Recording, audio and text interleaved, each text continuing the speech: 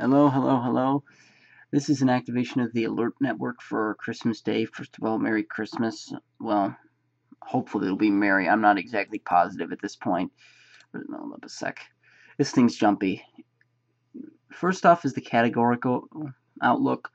Uh, here's the moderate risk area, the slight risk area, and then the just general thunderstorm area. I'd say, yeah, this is pretty bad looking. Uh, first, let's go to the tornado probabilities. I think this is within 25 miles of a point. The red area is 15%, 10%, 5%, and then 2%.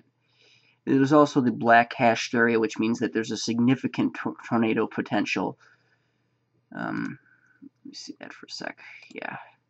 Yeah, significant. I think it's hedged is 10% or greater of an EF2 or greater strength tornado within 25 miles of a point. Uh, the wind, let's see that. Uh, yeah, the brown area is 5%, 15, and then 30 and even 45, and they've got a hatched area.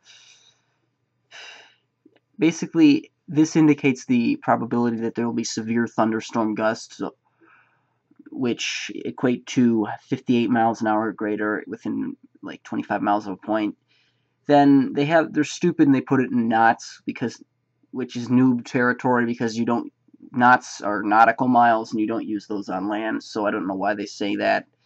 But this ha black hashed area means that there's like 25 or no, that's per 7% or greater probability of wind gusts, 65 knots. I'll just say like 75 miles an hour or greater within 25 miles of a point, maybe hurricane force. Fuck knots. I hate them. They're stupid. Then hail. Well, this is just gen general, like one inch hail or greater. This is, seems to be the least threat. They only go up to 15, and it, it just doesn't seem, they don't have a significant, which is good. Let's get a look at this. It says a dangerous Christmas day slash night severe weather episode is likely to unfold, including the potential for strong tornadoes and widespread damaging winds across portions of the Gulf Coast region and lower Mississippi Valley.